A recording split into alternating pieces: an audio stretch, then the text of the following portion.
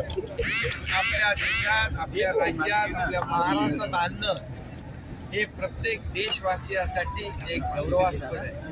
अभिमानास्पद आहे. आणि प्रत्येकाला हेवा वाटावा अशा प्रकारचं काम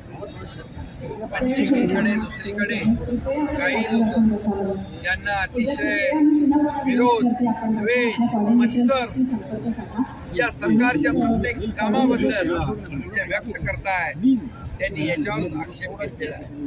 शंका व्यक्त केलेली आहे. हे अतिशय दुर्दैवी आहे. आणि म्हणूनच मी म्हटलं की त्यांनी असे शंका व्यक्त करणारे लोक जे आहेत त्यांनी छत्रपती शिवाजी महाराजांचा आदर्श सोडून अफजल खानाचा आदर्श स्वीकारलेला दिसतो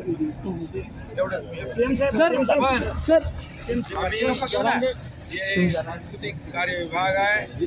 तो काम करेल वागणताही येतील. आणखी छत्रपती शिवाजी महाराजांच्या पदस्पर्शाने पावन झालेल्या ज्या ज्या वस्तू त्या सर्व आणण्याचा प्रयत्न आम्ही करू. आता तर भारत आणि पाकिस्तानच्या सीमेवर एक छत्रपती शिवाजी महाराजांचा अश्वारूढ भव्य दिव्य असा पुतळा तिथे आम्ही इथून पाठवलाय. आणि तिथे जाऊन त्याची स्थापना होणार आहे. पाकिस्तानला देखील छत्रपती शिवाजी महाराजांच्या तलवारीची भीती वाटेल. अर्धे गर्भगळीत होतील. हा कार्यक्रम देखील आम्ही टूल किट कशी चालवतात?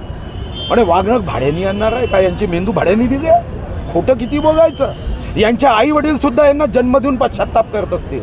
छत्रपती शिवाजी महाराज राजकारणाचा विषय आहे. अरे माहिती तर घ्या ते वाघनक अरे साऱ्या भारताची संपत्ती दिली भाडं देऊन तरी त्या वाघनकाची किंमत पण पूर्णपणे मोफत आणतोय. पण कशा कल्पना कशा कथा एकतर असा व्यक्ती पाहिला की तो या नेत्याच्या पैशातून लंडन जाऊन तिथून व्हिडिओ काढताय की हे भाड्याने घेतले जात आहे हे भाडं दोन कोटीचं आहे किती खोटं बघायचं अरे खोटा शब्द सुद्धा आत्महत्या करेल.